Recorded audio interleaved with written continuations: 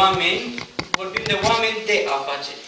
Ei bine, în seara asta vreau să vorbim cum să fim oameni în afaceri. Pentru că umanitatea e de obicei lucru care se uită într-o afacere.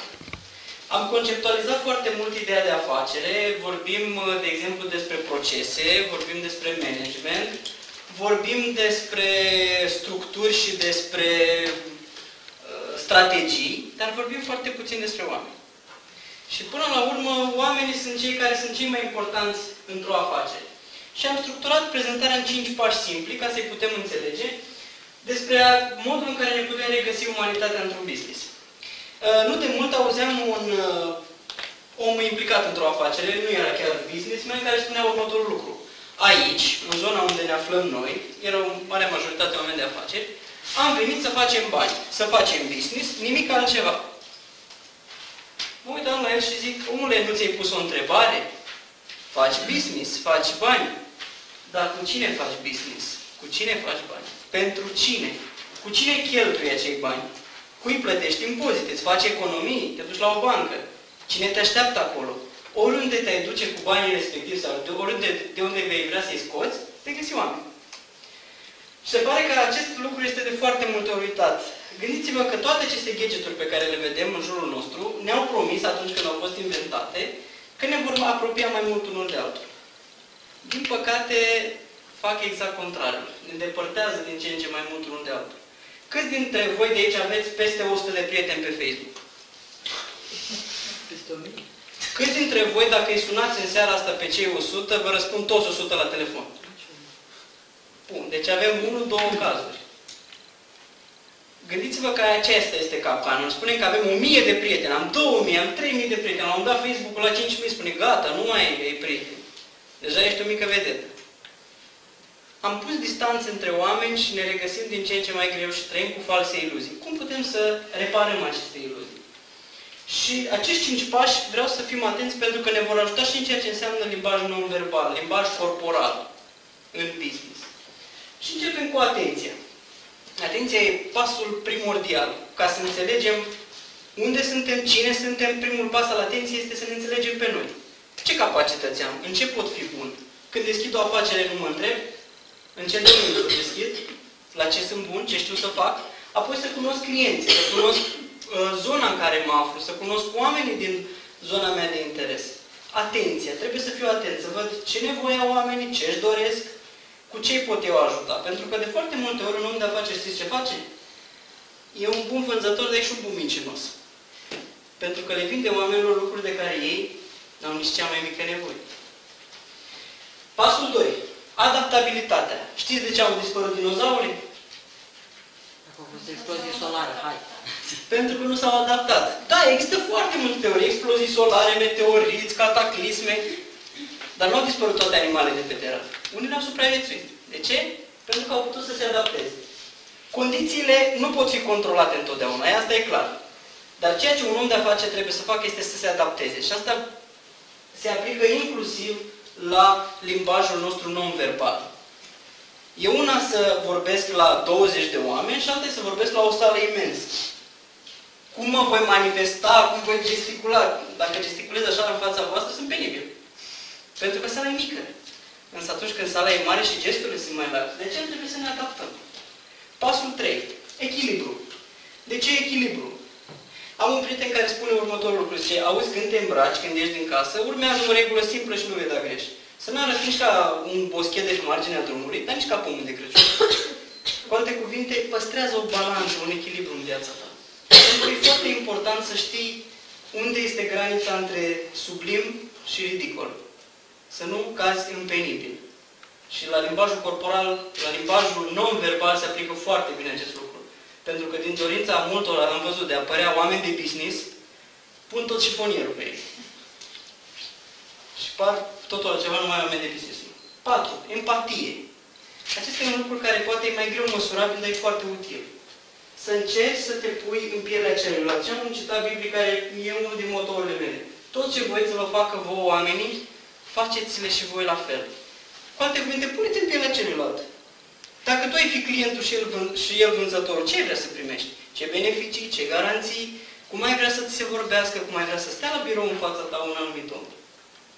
Și ultimul pas, altruismul. Succesul nu devine împlinire decât atunci când este împărtășit, împărțit cu ceilalți. Asta e lucrul cel mai greu.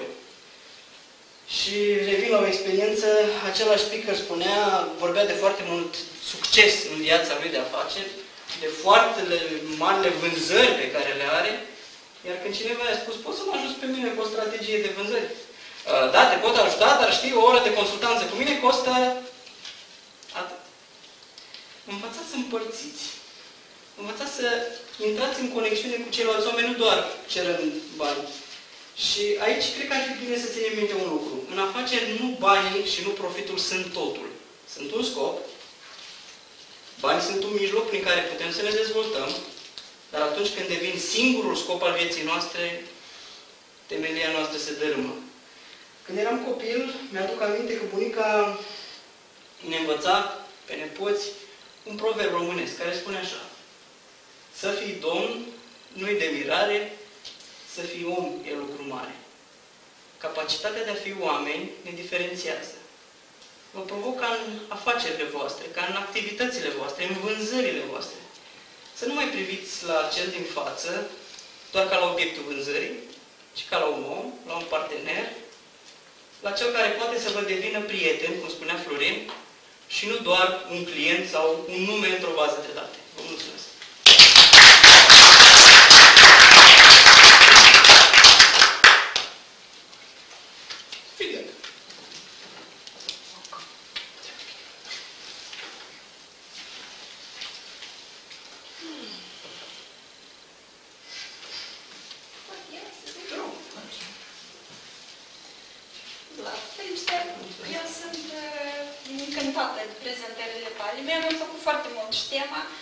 Mi-am place să fiu om și învăț în continuare să fiu om. Mi-a plăcut structura care de structură, că ai uh, discutat cu noi. Un pic de zâmbet mi-a, mi-a lipsit. Dacă ai fi zâmbit un pic, poate ar fi fost un pic mai... Uh, dar per total a fost super. Felicitări! O singură dată. Te rog. Data trecută ziceam de emoții. Uh, am simțit-o din plin de data asta. Felicitări. Uh, din punctul meu de vedere, din punctul meu de vedere a fost uh, aproape totul pe uh, excelent, am notat eu aici. Ce uh, mi-ar fi plăcut mie, probabil, mai mult interacțiune cu publicul. Ne-am ne-am tot ventilat sentimentele, tot am oftat pe aici, pe acolo un pic mai, uh, mai mult interacțiune și minunat. Mersi. Încă unul.